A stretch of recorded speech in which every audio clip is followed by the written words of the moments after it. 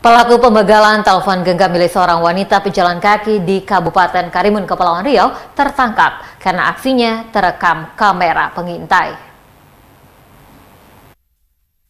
Inilah video aksi pembegalan handphone yang terekam CCTV milik warga di perumahan Puri Meral Karimun, Kepulauan Riau.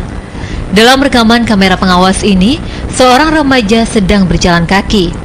Sekilas jalan yang dilalui korban terlihat sepi, namun secara tiba-tiba, seorang pengendara motor langsung merampas handphone milik remaja tersebut.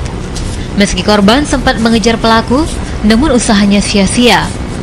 Mendapat laporan dari korban, tim Bison Polres Karimun bergerak cepat menangkap pelaku dengan melihat bukti CCTV. Pelaku berinisial PK ditangkap menjelang maghrib. Dari tangan pelaku, polisi mengamankan sepeda motor milik pelaku, HP milik korban, serta barang bukti lainnya. Kasat Reskrim Polres Karimun AKP Heri Pramono mengatakan penangkapan pelaku ini berkat laporan dari korban. Setelah dilakukan olah TKP, polisi mendapati ciri-ciri pelaku dari rekaman CCTV, terutama dari baju.